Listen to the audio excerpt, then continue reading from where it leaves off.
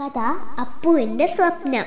രചന അവതരണം അനശ്വര അഭിലാഷ് പണ്ടൊരു കുഞ്ഞു പട്ടണത്തിൽ ഒരു മുത്തശ്ശിയും മുത്തശ്ശിയുടെ മകനും ഉണ്ടായിരുന്നു.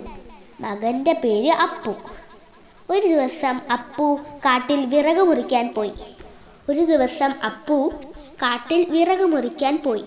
വിറക് മുറിച്ചുകൊണ്ടിരിക്കുന്ന സമയത്ത് ഒരു ചിത്രശലഭത്തെ കണ്ടു. അപ്പു ആ ചിത്രശലഭത്തെ പിന്തുടർന്നു. പിന്തുടർന്ന് പോയപ്പോൾ ഒരു മനോഹരമായൊരു സ്ഥലത്താണ് എത്തിയത്. വെള്ളച്ചാട്ടവും പക്ഷികളും നിറയെ മരങ്ങളും ഉള്ളൊരു സ്ഥലം. അപ്പുവിന് ദാഹവും വിശപ്പും ഉണ്ടായിരുന്നു. അതിനാൽ വെള്ളച്ചാട്ടത്തിൽ നിന്ന് വെള്ളം കുടിച്ചു വിശപ്പ് മാറ്റാൻ ആപ്പിൾ ട്രീയിൽ നിന്ന് ആപ്പിൾ പറിച്ചു തിന്നു.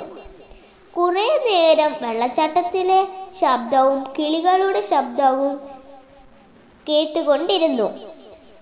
അപ്പോഴാണ് രാത്രിയായത് അപ്പു പറഞ്ഞത് അപ്പു ചിന്തിച്ചു ദൈവമേ രാത്രി ആയല്ലോ. ഇനിയിപ്പം എന്ത് ചെയ്യും? ഞാൻ വഴിതെറ്റി വന്നതാണല്ലോ. ഇവിടെ എനിക്ക് വീട്ടിലേക്ക് പോകാനുള്ള വഴി അറിയില്ലല്ലോ. അപ്പോഴാണ് അപ്പു മരത്തിന്റെ മുകളിലുള്ള ഒരു ട്രീ ഹൗസ് കണ്ടത്. അപ്പു വിചാരിച്ചു ഇന്ന് ഞാൻ അവിടെ ഉറങ്ങാം.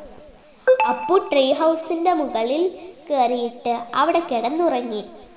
രാവിലെ കണ്ണു തുറന്നപ്പോൾ കണ്ടത് രണ്ട് കാട്ടുവാസികളെയാണ്.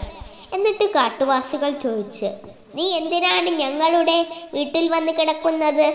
അപ്പു നടന്ന കാര്യങ്ങളെല്ലാം പറഞ്ഞു. കാട്ടുവാസികൾ പറഞ്ഞു നിന്നെ ഞാൻ നിന്റെ വീട്ടിൽ കൊണ്ടുവിടാം. കാട്ടുവാസികൾ അപ്പുവിനെ വീട്ടിൽ കൊണ്ടുവിട്ടു.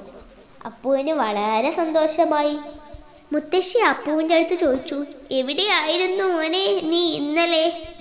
അപ്പു പറഞ്ഞു മുത്തശ്ശി ആ കാട്ടുവാസികൾ എവിടെ? മുത്തശ്ശി ഞെട്ടിപ്പോയി കാട്ടുവാസികളോ? അപ്പു ഞെട്ടി ഉണർന്നു. പെട്ടെന്നാണ് അപ്പുവിന് മനസ്സിലായത് താൻ സ്വപ്നം കാണുകയായിരുന്നെന്ന്. അപ്പു സ്വപ്നം കണ്ടതെല്ലാം മുത്തശ്ശിക്ക് പറഞ്ഞു കൊടുത്തു. അപ്പുവിന്റെ കുഞ്ഞു സ്വപ്നത്തിന്റെ കഥ കേട്ടപ്പോൾ മുത്തശ്ശിക്ക് ചിരി വന്നു. നന്ദി.